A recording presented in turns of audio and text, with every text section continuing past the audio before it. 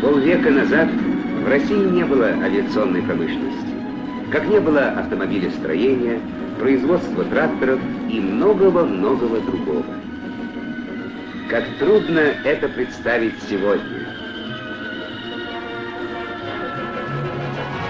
Реактивный лайнер Ил-62 уходит из Шереметьево курсом на Париж. 900 километров в час. Исправно работают автоматы, обеспечивая безопасность полета на любой высоте.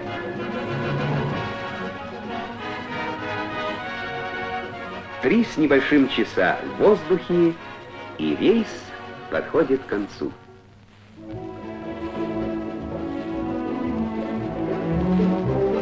Включен реверс, возникает обратная тяга двигателей, срабатывают тормоза, и огромная машина останавливается, пробежав по земле всего 860 метров.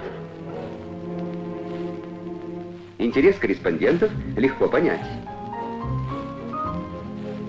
Двигатели столь мощны, что даже если два из них выйдут из строя, самолет может продолжать путь. Совершенные аэродинамические формы, эффективная взлетно-посадочная механизация крыла — все вызывает восхищение.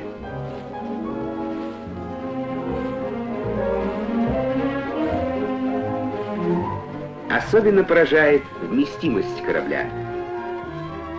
Два пассажирских салона принимают 186 человек. И даже в туристском варианте, когда кресла расставляются просторнее, самолет берет 168 пассажиров. Не забыто и об удобствах для малышей.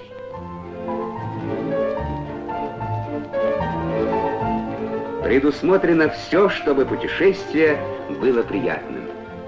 Ведь дальность беспосадочного полета корабля более 9 тысяч километров. Почти четверть земного экватора.